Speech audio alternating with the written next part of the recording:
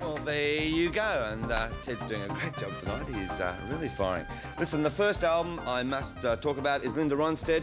She's got a new album out called Mad Love, and it's got a single on it, and you wouldn't believe Linda Ronstadt with this one. It's called How Do I Make You, and she's really rocking and rolling. So, uh, with this album, Linda Ronstadt is back into rock and roll, so watch out for her. All right.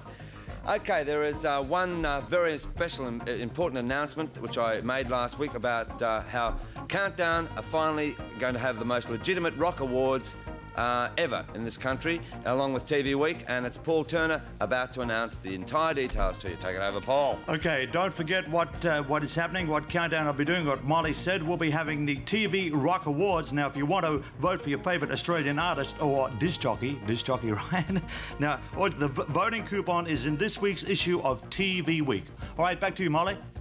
Simple Paul, are you uh, burning over there? I mean, it's so red. My goodness me. Red? Embarrassment, eh? Might be a DJ. Might be. No, do you- that. I've been doing it for 10 years, please. Enough said, Paul. Enough said. Thank you. Here we go back to a single I sort of talked about last week, The Pretenders, Brass in Pocket. They've uh, released an album as well. That's number one on the English charts, as it's roaring up the United States charts as well. Now, uh, with with the US, they generally don't latch on to English uh, groups for a long, long time. With this group, they have taken them by storm. It's just been released in this country. I guarantee Brass in Pocket by Pretenders will be number one within uh, five weeks, okay? Five weeks. All right, one group you have never heard anything about. They're a group called the Headboys. They're from Scotland, not like the Bay City Rollers. We're going to do an interview with them in a couple of weeks' time. They've got a single out called The Shape of Things to Come. Have a look at this one.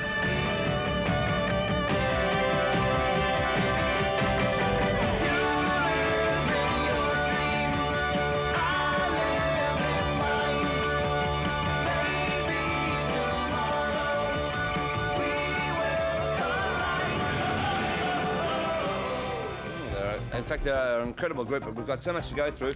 The lady you had on last week, Caroline Mas, or Carolyn Mas, actually, they pronounce it. Uh, same as like Carolyn, our uh, researcher. I can always call her Caroline, actually.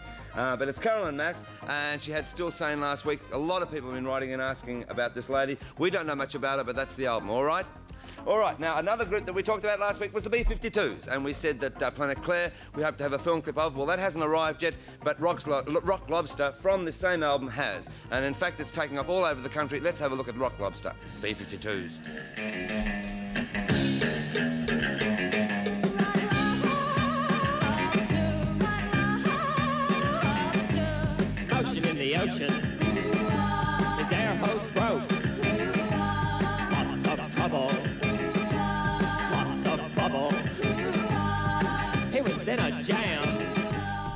Well, there you go. I tell you what, Jimmy and the boys, as weird as they are, can have a look at that clip. In fact, I tell you what, the B-52s are going to be very big in 1980.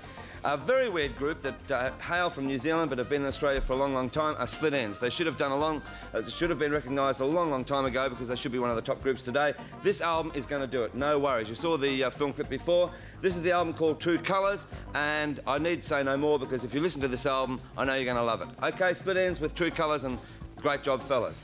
And another great album on the local scene is the Concert of the Decade album, uh, which features all the Australian artists, and it also features Stevie, uh, Stevie Wright, and he does that amazing version of Evie, which he had a hit uh, around about five years ago. And Stevie, please come back and start recording again because it's a great version. All right, Concert of the Decade, and incidentally, there were no arrests at this, and there was about the same crowd in the same venue, which is of course the Opera House in Sydney. So think about that one. All right, now one group that is not, uh, well, we said they were going to come out in April. They're apparently not coming up out in April now. In fact, no one seems to know when they're coming out, is the Boomtown Rats. But they've got a current single out called Diamond Smiles. She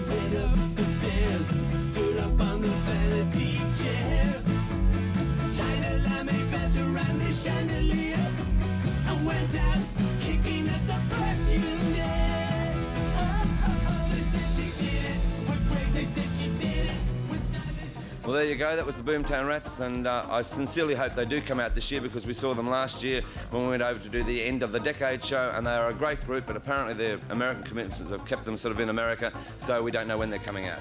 All right, the last group of today that I want to show you is a group called the Specials. Now, uh, they are sort of semi-reggae. They, they hail from England, and they're an excellent group on record, I believe, from. Uh, the English writers, they're not so hot when you get to talk to them because they're pretty rude and all of that.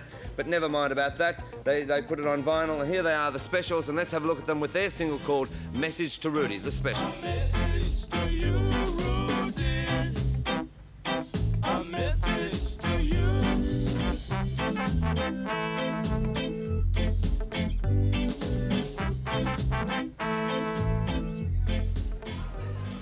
Well, there you go. Now, on the local scene, uh, you'll be pleased to know that, uh, well, you may not be, that Angels and Mi-Sex are about to go over to America, so we'll be losing them for a while. And Air Supply, with their single that we had as a hit last year, Lost in Love, is number 81 with the Red Bullet on the American charts, so they're really doing well. And talking about local talent and how local can you get with uh, Ted and the boys, here is Ted with his new single with TMG and Save Me. Take it.